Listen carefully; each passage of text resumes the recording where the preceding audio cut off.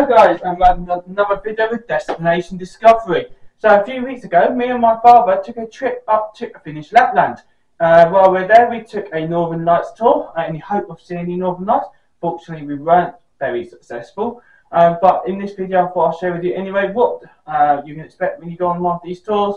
And uh, before I do that, I'm going to leave you with some uh, science of the Northern Lights, how they're created, history, and also some interesting facts. And what at the end, I'll be telling you the best places where you can see the Northern Lights, what countries you should be going to, and cities with the most chances of seeing them. Stay tuned, and I shall get back to you later on. So let's get started with a bit of science and history first of this spectacular display. The Aurora Borealis, or most famously known as the Northern Lights, is a demonstration of the Earth's magnetic field interacting with the charged particles from the Sun. It is also beautiful to see and worth braving the cold night when visiting the high northern or southern latitudes. The northern lights come in all different colours, which ranges from orange, red, yellow, blue and green. These different colours are as a result of different gases, such as oxygen and nitrogen, which in turn gives off light due to the particles striking them. According to Neil Bone, the author of the Aurora Sun Earth Interactions 1996, the term borealis is jointly credited to have been first used by Pierre Gassendi and Galileo Galilei, who both witnessed a light display on the 12th of September 1621. Now you know a bit of history and science behind it, let's hear a few interesting facts. Auroras usually occur in the Aurora Oval, a ring-shaped belt about 2,500 miles or 4,000 kilometers in diameter near the magnetic poles of Earth. Because this belt expands and contracts, the area where the aurora can be viewed changes each night. Venus doesn't have a magnetic field, but astronomers once spotted an aurora-like event on the planet. Scientists believe that the aurora may have occurred due to the collision between carbon dioxide and oxygen in Venus' atmosphere and solar wind particles that penetrated deep into the upper atmosphere magnetic midnight, which is the time when the north or south magnetic pole is directly between the sun and an observer on Earth, is considered the best time for watching the auroras. Yellowknife in Canada and Tromsø in Norway are sometimes called Aurora capitals because these cities offer some of the most frequent sightings of the Northern Lights. Other places where they appear more frequently are Reykjavik in Iceland and the Shetland Islands in Scotland. If you are looking forward to spotting the Aurora Borealis, you need to be very patient because there is no fixed time. However, that being said, experts believe although they can occur any time between 4pm and 6am, the best time is usually between 10pm and 1am. The International Space Station is located at the same height at which some auroras occur and is higher than others. Therefore, the crew can enjoy both a side view and a view from above the northern lights. The most common aurora color is green or greenish yellow. This is because most solar particles collide with our atmosphere at an altitude of around 60 to 150 miles, where there are high concentrations of oxygen. The second most common aurora color are pink and red. Our eyes cannot easily spot the blue and purple color northern lights in the sky. In Norway, you do not need to go to a remote location to observe the northern lights because these can be easily spotted even in the skyline above cities like Tromsø, Narvik, and Bodo. In Italy, France, and the United Kingdom, myths and legends often painted the auroras as a sign of the arrival of unfortunate events such as war, plague, conflict, and death. This may be because when the aurora appears further south in Europe, the lights often take on the reddish hue of blood. The dancing rays of the aurora may feel like they are right above your head, but in reality, the lights occur at heights from 80 kilometers or 50 miles to 640 kilometers or 400 miles above the Earth's surface. If you look forward to having the brightest and clearest view of the aurora borealis, the closer you are to the north side of the Earth, the better. This is why the Arctic is considered the perfect place for observing the northern lights. You may get to see the aurora even during the afternoon in the Arctic.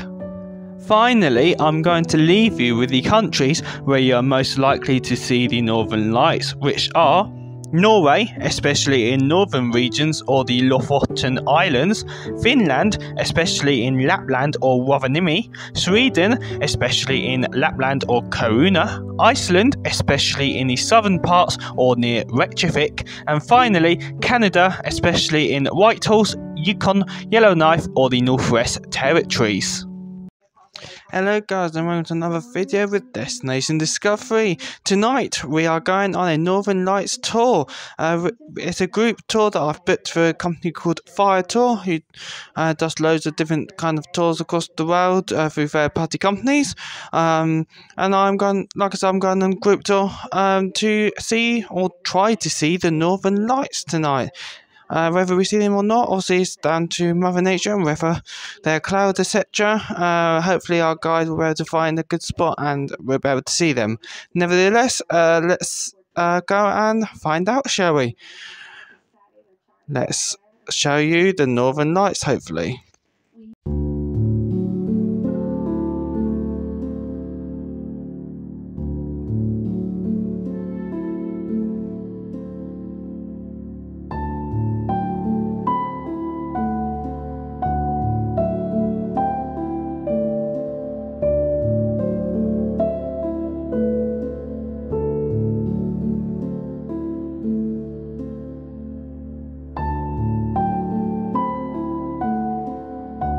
Guys, so our adventure to Northern Lights begin. I'm currently outside the office where we're meeting, uh, waiting for the guide in about 15 minutes time. And then it'll be time to go off and hunt for Northern Lights. I need to find out on the Aurora forecast uh, through our mobile app that we only have a 3% chance of seeing them tonight. So it's not looking hopeful. And it's, uh, it's very cloudy. My dad's with me as always. Um, looking scary as always. Um, yeah, so we're uh, not looking hopeful, but you never know. Miracles might happen, and we might head north and see them. Who knows? Let's take you on this adventure with me.